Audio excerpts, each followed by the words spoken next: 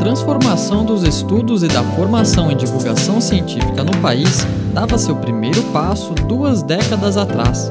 Nascia na Unicamp o LabJor, Laboratório de Estudos Avançados em Jornalismo. Os 20 anos do centro foram celebrados em simpósio realizado no mês de dezembro na Unicamp. O evento reuniu jornalistas e autoridades da universidade que acompanharam a trajetória do laboratório desde o início há 20 anos atrás, quando começamos, a ideia era criar na Unicamp um programa de jornalismo eh, que fosse voltado, sobretudo, do ponto de vista do ensino para a pós-graduação e, ao mesmo tempo, desenvolvesse uma linha de reflexão crítica sobre a atividade do jornalismo em geral, os resultados desse, desses propósitos foi desde logo a criação do Observatório de Imprensa, que nasceu dentro do Labjó, que depois se desenvolveu e, ao mesmo tempo, a partir de 99, nós criamos o curso de especialização em jornalismo científico. Esse curso, que já tem várias edições, formou quase 300 estudantes já e o curso de pós-graduação, da mesma forma, em jornalismo científico com foco é, em neurociências.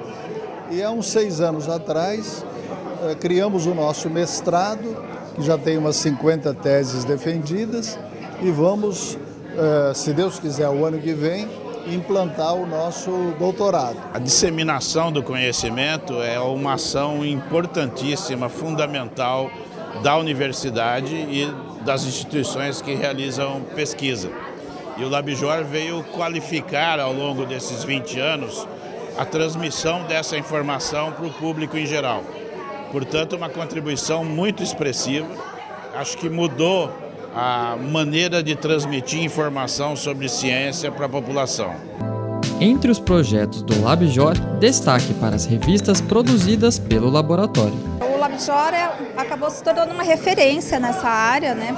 além de produzir muitos materiais, nós temos várias revistas, né? eu mesma sou editora de duas revistas, né? a Consciência e a Inovação hoje, mas já fizemos várias outras publicações.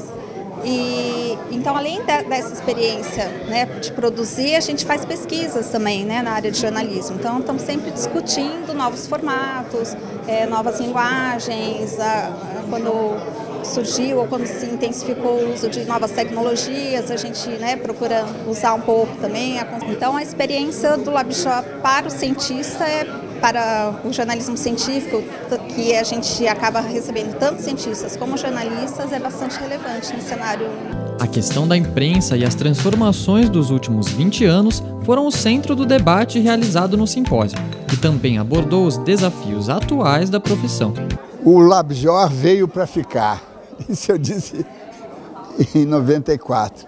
E 20 anos depois eu, eu reparei que eu estava certo. Eu acho que a gente tem que retomar, discutir é, uma série de problemas estruturais que não foram resolvidos, que não foram resolvidos, e que nós temos que agora, com toda essa prole, isso não é tarefa mais para mim, é tarefa para você, é, é começar, começar a identificar esses pontos e começar a tratá-los academicamente, cientificamente até. Não, é? É, não, pode, não, não podemos é ficar restritos à pauta de jornal, porque o jornal não discute o jornal.